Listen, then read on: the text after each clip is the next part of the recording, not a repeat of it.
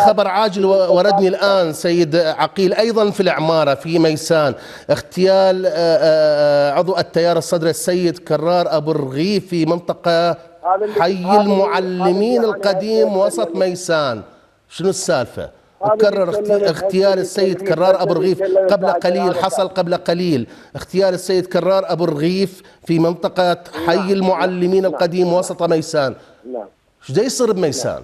يعني يعني يعني هذا هذا هذا الجريمه وواقعه الاغتيال اللي حصلت ورسالة يقوم المجرمون بايصالها للحكومة المركزية ولزيارة السيد دولة رئيس الوزراء وإلى زيارة اليوم كل الأجهزة الأمنية والحكوميه حاضرة في محافظة ميسان، معالي دولة رئيس الوزراء اليوم موجود، السيد وزير الداخلية، السيد وزير الدفاع، مدير مكافحة الإرهاب، باقي المفاصل الأمنية. كلها اليوم اجتمعت محافظة ميسان ورغم ذلك تحصل جريمة اغتيال في داخل المحافظة، اليوم الكل مهدد في المحافظة، الجهات السياسية والسادة القضاة والمحامون والمثقفون والتجار وأصحاب النفوذ كل شخص بمحافظة ميسان اليوم مهدد طيب إذا أستاذ عقيل نرحب بك ثانية في ظل شعور الجميع بالتهديد كما تفضلت.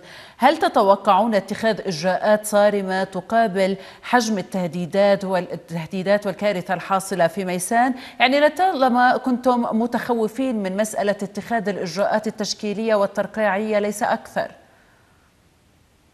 طبعا مع شديد الأسف أنا أعتقد وأرى إن الإجراءات التي تقوم بها الأجهزة الأمنية والحكومة المركزية والحكومة المحلية في محافظة ميسان لا تتلائم ولا تتناسب وحجم الخطورة التي تعيشها المحافظة. اليوم محافظة ميسان ممكن أن أن تكون منكوبة امنيا.